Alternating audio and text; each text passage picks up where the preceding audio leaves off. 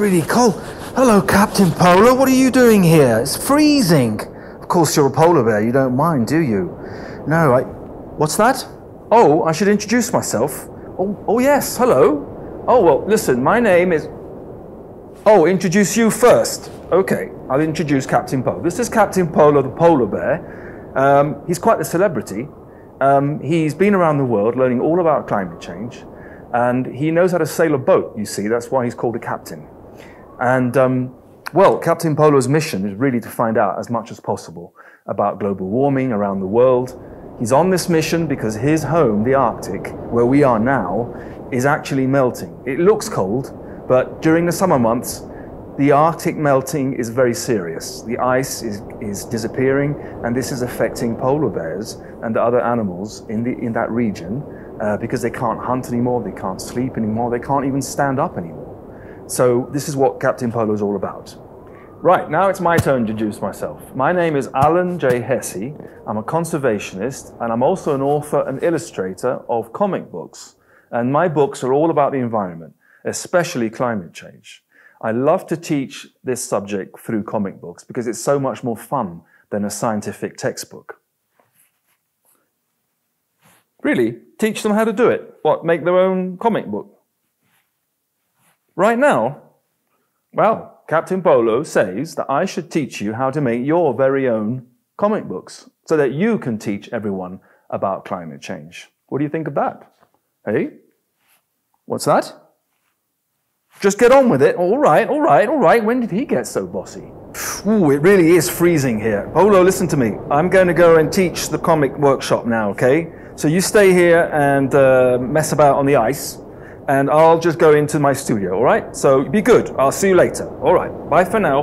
Okay. Bye bye. Bye bye. Hello again. Now, a comic book is really just a story. You don't need to be great at drawing. What you need is a good story. That means you can use stick figures and simple shapes, okay? Um, what you'll need for a comic is, of course, a pencil. I like to use these graphite pencils, but you can use any pencil. You'll need an eraser or rubber like this one. And when you get to the stage where you are finishing your comic, you'll need to trace over your pencil marks with black ink. I like to use different sizes of nibs. Uh, you've got a very fine nib, you've got a middle nib, and you've got thicker nibs. Don't go too far on the nibs. You need to keep it quite steady. Have a, you know, keep a, a medium-sized nib. Uh, pretty much will, will be good for the whole for the whole book. Remember, a comic or graphic novel is a story. You don't need to be good at drawing to make one, especially when your story is about something as important as climate change. A comic has three main elements a main character, a problem or mission for the character to deal with, and obstacles to that happening, things that get in the way.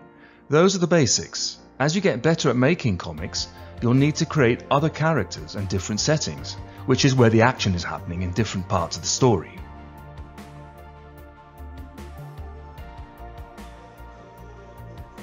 Depending on how well you draw, you can make your character very unique like Captain Polo, or just a stick figure.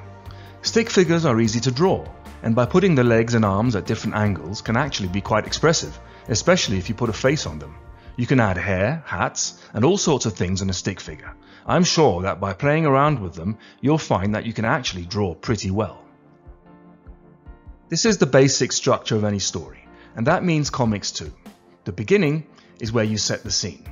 What's going on? Who are the main characters? What are they up to? And what do they want to do? Is there anything they're worried about? The middle bit is where most of the action happens. Think of this part as a roller coaster ride. One minute your character is doing great, next minute they're suddenly doing not so great. This can mean whatever you want it to. For example, the character is dancing happily, but suddenly slips on a banana skin and falls into the dinner table, upsetting all the food everywhere. Since your subject is about climate change, you'll want to make the middle part of the comic all about the things your character discovers and understands the problems they see as well as the solutions. All the things that can be done to help the environment. What I like to do is mix all that in with fun, humour and adventure to make a good story. The ending is always the hardest part for me. Basically there are two ways you can end your comic story. Close it by having the character solve the problem or achieve their mission, or leave it open. I actually prefer leaving it open. That leaves the reader guessing what will happen next. Of course, when you use an open ending, it means you have to continue the story in a following comic. This is a great idea when you make a series like the Adventures of Captain Polo books. Here are some examples of the beginning, middle, and endings in my own comics about Captain Polo and climate change. These are the first two pages in the first Captain Polo book of the series. It's always important to make your main character appear right away on the first page. Here we see Captain Polo, who's not a captain yet by the way, trying to hunt his favorite food, a nice juicy walrus. This is part of the setting. The main character appears in his natural habitat, the Arctic, doing what his species, polar bears, do best, which is hunt walrus. The next page starts to reveal the problem our character is facing, melting ice. At this point, we don't need to explain why ice is melting. That's something Polo himself will discover as the story unfolds. The thing to notice on this page is how the story transitions from the beginning to the start of the middle. The setting changes from the Arctic and a melting piece of ice to a pub in Cornwall in which a fishing crew is discussing another problem, how cod is disappearing in the Atlantic Ocean. This problem is related to the first one, both are caused by global warming. Again, at this stage, the reader doesn't necessarily know that, but these relationships will start to link up as the story progresses. The bit about the cod is also an example of how I started bringing in my research into the story. These next two pages are part of the middle of the book, and you start to see some action and fun stuff, but also more information about climate change. On these two pages, Polo witnesses a sleigh accident caused by melting ice, a problem he's already experienced, even if he hasn't thought much about it yet. Polo, being very strong, saves the Inuits and their sleigh and stays the night to camp while they tell him all about how climate change is affecting them. Can you see how I'm bringing in the research? When things get too technical, you can always put a footnote on the page to explain in a bit more detail. I do this a lot. Next day, Polo sets off again to immediately run into yet another climate change problem, which is revealed on the next page. Notice how the page ends with a moment of suspense. Polo sees something that shocks him, but he doesn't know what it is. We don't know what it is either until we turn the page. The surprise in a story could be anything at all, but you need to keep things in line with your subject. It wouldn't make much sense for this story about climate change for Polo to suddenly meet a spaceship, for example. So as you'll see if you read the book one day, the, the, the thing that surprised Polo is another climate change problem, coming from the research. This is what I mean by the roller coaster ride for the middle bit of your story. Here's how book one of the Captain Polo comic series ends. There's a lot of technical stuff from the research here, but the main thing is to notice what happens on the last page. Disaster strikes for Polo. His boat is run over and destroyed by a massive fishing vessel, and the fishing captain sees the chance of making money by selling this polar bear to the zoo back home. This is an example of an open ending. When you read this, you probably want to know what happens next. The reason the fishermen are Chinese is because of the setting of this part of the story. Polo is in a part of the world patrolled by lots of Chinese fishing boats. The Chinese words that appear are real. I translated the English into Chinese using Google Translate. Now that we've looked at how to structure your comic and seen a few examples, it's time to see how to actually start making it. I use these seven basic steps. For now, we'll just look at steps 1 and 2. First, you need to decide what your comic is going to be about. For example, it can be about climate change or a particular aspect of climate change. Then you need to get some technical information for your subject, some facts. This is the research phase. This is probably something you do at school with the help of your teacher. I do most of my research online, but I also read scientific papers and articles, and I interview climate change experts. Being a conservation scientist myself, I also already know quite a bit about environmental topics. You can also research online and by using your school library. For this exercise, I suggest you make a list of no more than five technical things you want to include in your story. I'll let you get on with that for now. Pause the video and I'll come back when you're ready. Welcome back. By now, you should know what your comic is going to be about, and you should have a handy list of facts about it from your research. Now the fun begins, because you're going to get creative. In part 2 of this presentation, I'll show you how to develop your story and characters and fit them together with your research. We're going to complete steps 2 and 3 of this list. Think about your story. What happens? What do the characters do? How can you bring the facts from your research into it? For example, your main character could be a climate activist who goes to visit an oil rig in the ocean. The villain might be the owner of the rig. What happens? What do your characters say? Remember, a good story needs to be exciting. It could also be funny. So here's your next task. First, answer the three questions you see here. Write down your answers. Use your imagination. Your story can go anywhere you want, and your characters can be people, animals, monsters, whatever you want. Have fun with it. Next, you need to plan your comic. Get a piece of paper, or you can use a computer, and make three columns. Title the columns beginning, middle, and ending. In each column, write out your idea on what happens in that part of your story. Don't forget to bring in those facts from the research. It doesn't matter if you don't include them all. Pause the video and come back when you've finished doing these two things. Now that you've written out roughly how your story goes and what your characters do and say, it's time to bring everything together and start drawing. We do this by making what's called a storyboard. A storyboard is what filmmakers use, and it's also really useful for making comics. Think of it as a map that lays out what happens in what order, who says what and in what order. My storyboards, like the one here, tend to be quite detailed, but you don't need to do it this way at all if it doesn't come naturally. Here's an example of a much simpler storyboard using stick figures and simple shapes. Yours can look something like this if you want to. Notice the speech bubbles with the numbers. This is a coding system I use. The numbers refer to the dialogues that I've written out separately. This way you always know who says what and in what order. This is actually important because one of the rules of making a comic is that you can't have your characters saying things out of order. Look at this example. Can you see how the correct version is the one on the right? When we use a language like English, we read from left to right, from up to down, not the other way round. Now, I learned the hard way that not planning this out in advance with a storyboard causes a lot of headaches later on. The rule of thumb is when you lay out your comic using storyboard, Think like the person who will be reading the comic. It's really important that the comic be easy to read. Now, I do my comics using programs, uh, a program called Adobe InDesign and uh, Photoshop. Um, that enables me to get that really professional look. For this practice session, you can go ahead and make your storyboard right now to gain time. However, when I make my comics to publish, I make one more step first. On a computer, I create a more detailed version of those three columns you made earlier, like this example right here.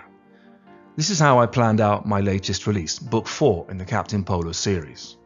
This detailed process allows me to plan out each frame or panel, so that I know exactly what I'll be drawing inside it, what dialogues or what narrative there may be, who says what, in what order.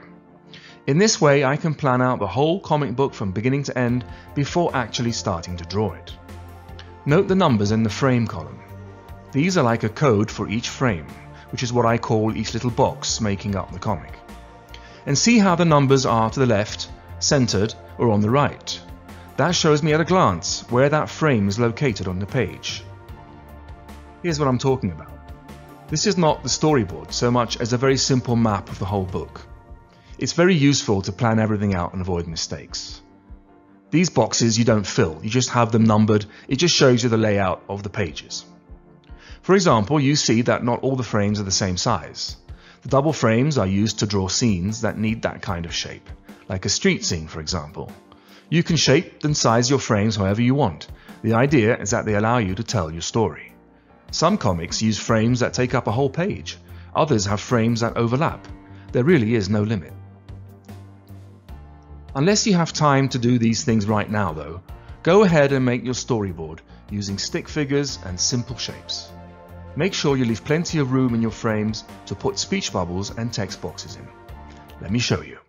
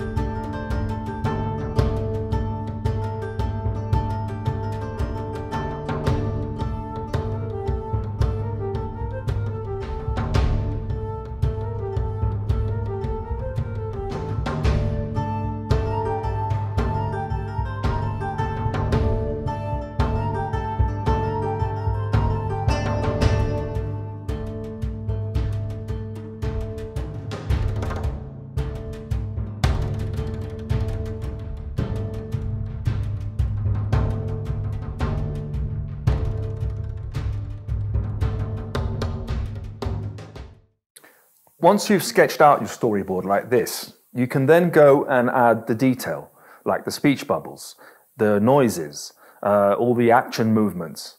And when you're happy with that, then you can trace over it with the black ink markers I showed you earlier.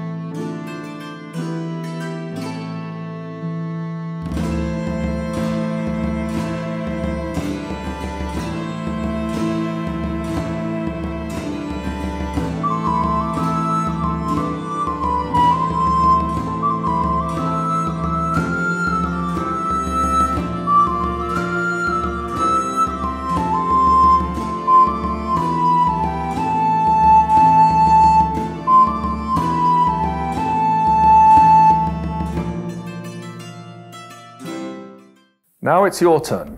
Pause this video and finish your comic. That's how you make a comic. At least that's how I do it. Now, every author, an illustrator, and artist will have their own way of doing things, and I'm sure you will too. But this is a good way to start.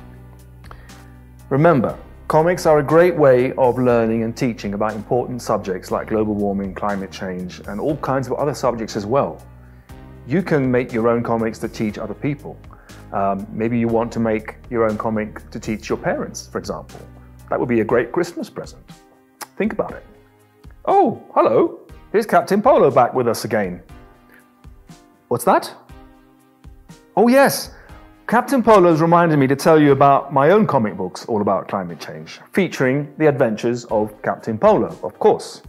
These books are great because Polo goes all around the world learning about climate change, global warming, and all kinds of other things, but he also has a lot of adventures.